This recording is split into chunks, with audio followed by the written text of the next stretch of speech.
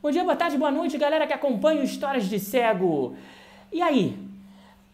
Como nós cegos podemos lutar contra o preconceito? Ah, gosto de trazer essa luta pra gente. Isso é bom, isso é importante a gente conversar e falar, porque esse negócio de ficar culpando os outros, ficar só botando é, responsabilidade nos outros, na sociedade e tudo mais, blá blá blá, isso não cola comigo, porque eu sei que nós, enquanto pessoas com deficiência, nós temos sim nossa responsabilidade, o que, o que obviamente não quer dizer que nós somos o culpado de preconceito e discriminação, não é isso, óbvio que não, mas nós também podemos lutar contra isso. Quer saber como? Venham comigo no Histórias de Cego.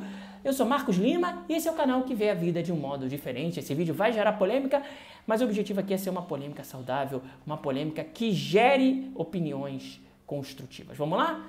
Como nós cegos podemos lutar contra o preconceito? É super injusto, mas as pessoas nos põem no mesmo pacote. Eu já falei aqui várias vezes que a deficiência não nos define, mas a pessoa, quando conhece algum cego, ela não, conhece, não entende nada de cegos, ela tem vários preconceitos na cabeça dela e a maneira como ela vai encarar outros cegos, infelizmente, vai depender muito do seu, do meu, do nosso comportamento.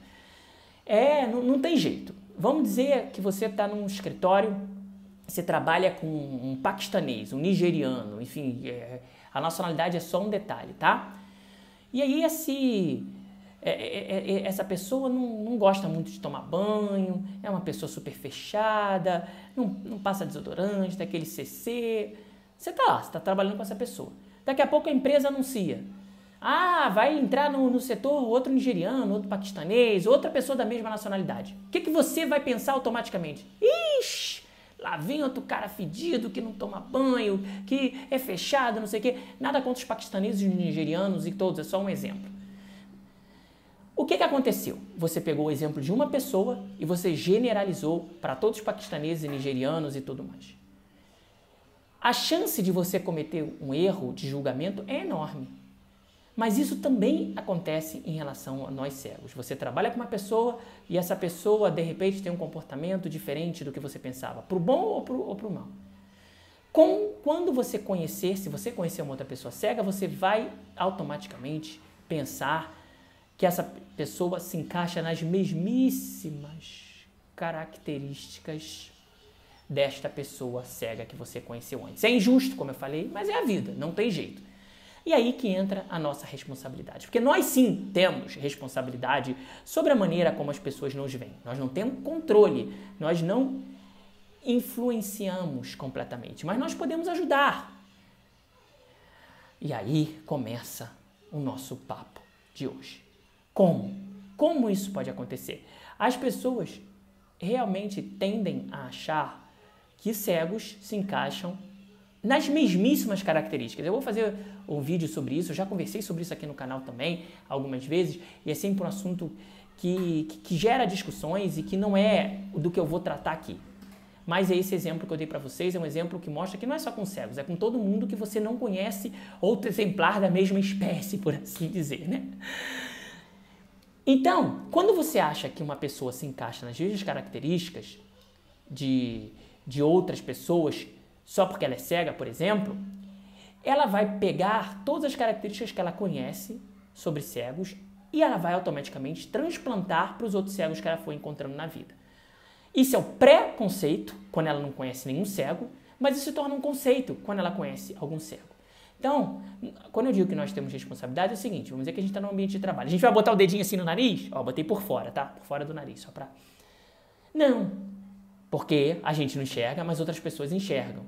A gente vai ficar sobrecarregando as outras pessoas de um pedido de ajuda, por exemplo? Eu, eu, eu sou contra. Eu procuro pedir, no ambiente de trabalho, por exemplo, eu procuro pedir menos ajuda possível, só quando é essencial. Mas eu conheço casos de pessoas cegas que ficam pedindo ajuda com coisas que não tem nada a ver com o trabalho, no ambiente de trabalho. Ah, compra não sei o que no Mercado Livre para mim, ah, não sei o que, pega café para mim. Eu já pedi alguém para pegar café para mim? Já. Trabalhava com meu amigão Eduardo e de vez em quando eu pedia. Mas ele pedia também para eu pegar café para ele. Então era uma troca entre pessoas, não é troca entre, ah, porque eu sou cego, ele vai fazer as coisas para mim. Ah, é, é, é, eu sou cego, então todo mundo tem que ter pena de mim, todo mundo tem que fazer tudo por mim. Não, não é assim também. E você fazendo isso, você vai colaborar para que a, aquela pessoa com quem você conviveu ache que todos os cegos são assim. Aqueles cegos que na rua estão fora, são grosseiros com as pessoas que oferecem ajuda. Muitas pessoas já me relataram isso. Ah, fui oferecer ajuda, o cara foi grosso comigo, o cara foi pedante comigo, não sei o quê. Ninguém é obrigado a, a, aceitar ajuda, né? Não é isso que eu tô falando, aceitem ajuda. Eu aceito, porque eu acho que quando você aceita, a pessoa é estimulada a oferecer ajuda outras vezes. Mas tudo bem você não aceitar, só que seja gentil com a pessoa. Né? Tem muita gente, ah, não sei, não preciso, não sei o quê. Enfim, sabe o que, que acontece? A pessoa nunca mais vai oferecer ajuda para uma pessoa cega. Ela não vai pensar assim, ah, esse cego foi grosseiro, mas o outro não. Não, ela vai falar assim, ah, pô, esses cegos também, a gente quer ajudar, eles não querem.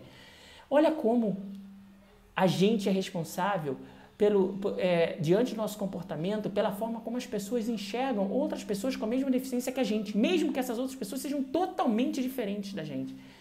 É o que eu estou falando que é super injusto, mas é, mas é o que acontece. Né? E tem cegos, como tem pessoas que, eh, que, não, que enxergam, que têm características ruins.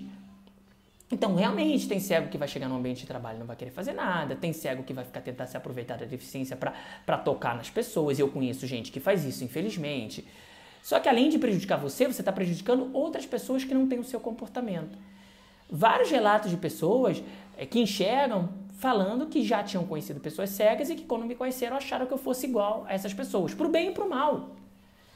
E, e, eu tenho certeza que vocês aí que, que, enxergam e que já conviveram com pessoas cegas, vocês formaram uma opinião, né? O que é, o que é curioso, porque é, se fosse uma pessoa que enxergasse, você não ia formar uma opinião. Por exemplo, você trabalha com, com um estagiário, vamos dizer assim, ou com, ele tem um tipo de comportamento. Quando a empresa fala assim, vai entrar outro estagiário, você não vai pensar assim, ah, esse estagiário vai ter o mesmo comportamento desse que eu conheço. Não, mas com cego você vai acabar pensando.